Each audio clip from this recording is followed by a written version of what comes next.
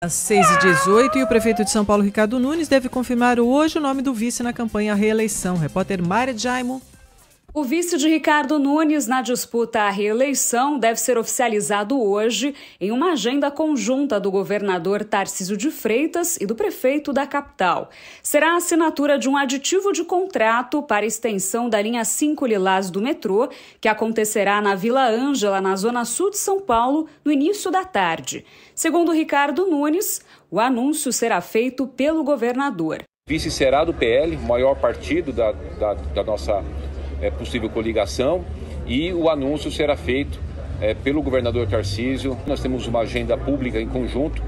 O governador Tarcísio e eu estaremos é, anunciando lá as obras do metrô do Jardim Ângelo, um sonho muito antigo daquela região.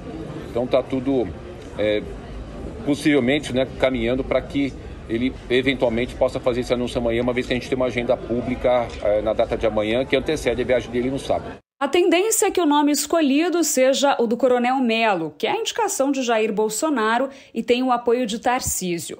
Nesta semana, após um jantar que reuniu o atual prefeito, o governador e representantes de 11 dos 12 partidos da coalizão, foi definido que o vice será de fato do PL, mas não houve consenso sobre o nome. Além de Melo, foram citadas outras pessoas mencionadas já por Bolsonaro, como Sonaira Fernandes, a delegada Raquel Galinatti e Ruth Costa. O União Brasil foi o único partido que não participou presencialmente da reunião, mas, segundo o governador, o contato aconteceu por telefone.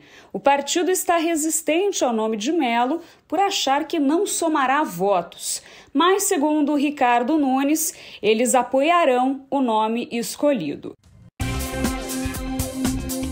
São 6 horas e 20 minutos, o 20 Leandro.